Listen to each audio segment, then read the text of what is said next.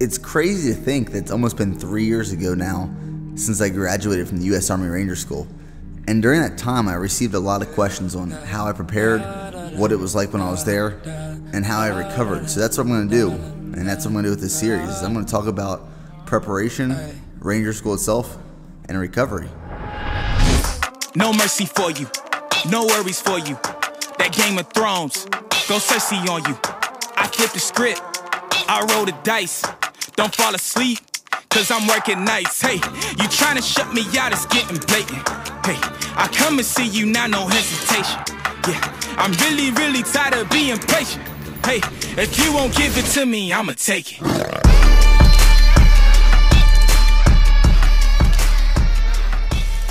I spent 120 days, like four and a half months in 61 day course because I recycled Darby, I recycled mountains, all during Best Ranger competition.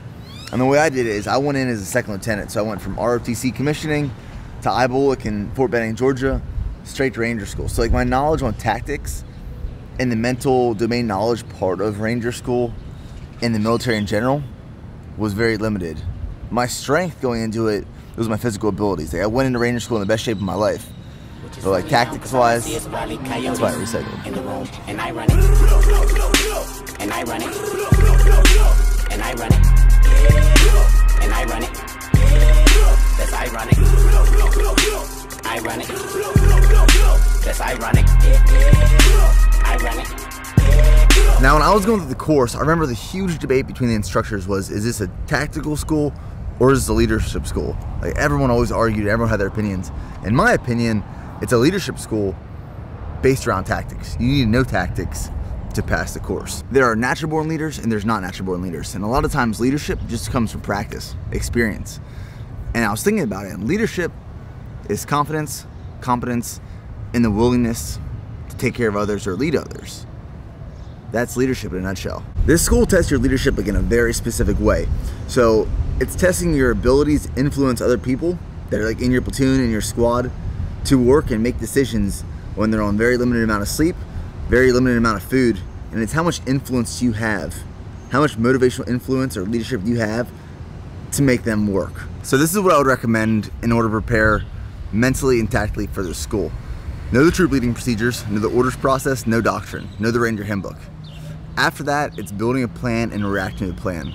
And reacting to the plan is going to be 95% of Ranger school. You're gonna plan for something, that's probably not gonna happen.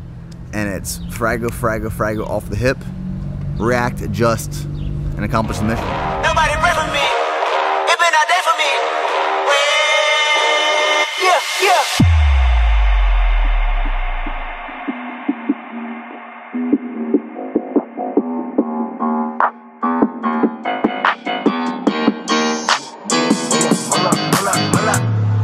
Bitch, sit down. Bitch, Be humble. Sit down. Be humble. Sit down. Be humble. Sit down. So I'd say the most important thing before going to Ranger School, to prep for Ranger School, is the physical aspects. Like I went into this school in the best shape of my life. I came out of it 120 days later in the worst shape of my life. I lost 30 pounds when I was there. So prepping physically is like how you set yourself up for success because like RAP week, which I talk about in the next video, is all the physical requirements before you start like the actual leadership testing and assessment phases. You know, Darby, Mountain, and Florida phases. So what I prepped physically for this is, you know, looking back, I was thinking, what do I need to be strong in? I need to have a strong back. I need to have strong legs for rucking. I need to have endurance. I need to have stamina. So a lot of my training was like powerlifting focused. I did a lot of squats. I did a lot of overhead presses. I did a lot of deadlifts, and that's still how my training is. It always has been. I'm powerlifting, like bodybuilding focused, and I still did like accessory stuff, but I really focused on strength. I wanted to get my deadlift up, my squat up, and my overhead press up because I knew I was going to be carrying a lot of weight with those muscles, you know, being reinforced. Stamina endurance wise, I was doing a lot of runs, so I was running uh, three or four times a week because I was in IBOLC at this time. So we were running probably 20 miles a week, and I wanted to be able to run five miles in 33 minutes or less because the standards is when you get there you have to be able to run five miles in 40 minutes or less which you're smoked at that point so being able to run it sub 35 is is optimal and then one ruck march a week so like i was working at least six days a week six days of strength training three or four days of running and then one ruck march which would vary from like three miles to 12 miles. I'm just getting my feet ready. So overall, you just want to be strong. You want to be in a very strong cardiovascular shape, and you want your feet to be really solid ruck march, marching wise because in Ranger School, you're literally rucking every single day.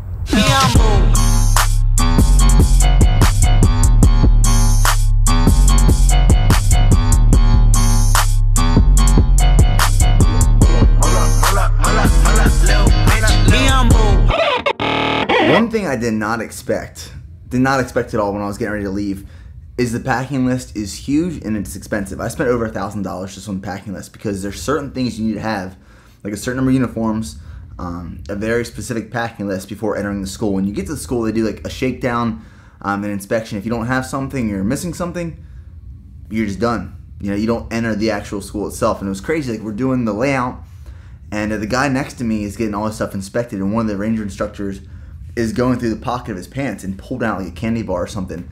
So I bought all my uniforms used because it was cheaper, and um, I didn't even check the pockets of my pants. So I get to the pockets of my pants that I was about to get inspected, and there was like a candy wrapper in there, which if it would have been found, I probably would get kicked out. Craziness.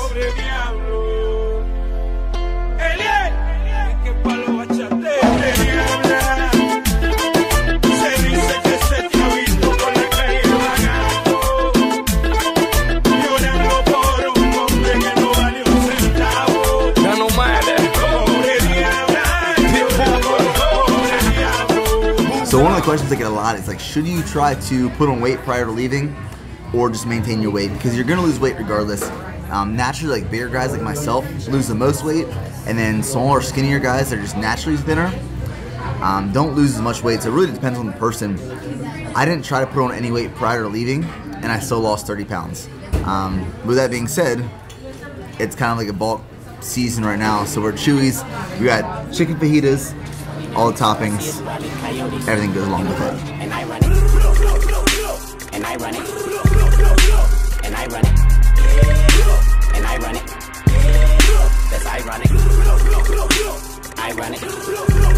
The last things I really want to touch on in the preparation phase of Ranger School that I feel a lot of people don't really bring up is prepare to be there as long as it takes. You know, like you go into that school with the mindset that you're staying there until you get your tab. And that's why I was there for 120 days. I recycled multiple phases and a six week holdover being best ranger competition. And the rest of the series, I'll go into each phase. So the next one will be RAP phase or RAP week, and then uh, Darby Mountains in Florida. I'll give you some tips, some of my experiences, and some stories there. But with that being said, preparing to be there as long as possible comes with some preparation in itself. So when I was in school, a lot of people didn't take care of bills, utilities, payments, things in that nature. That if you weren't back within those 61 days of graduating, going straight through, they take care of themselves or have someone to take care of it for you. So I'll see you in the next episode.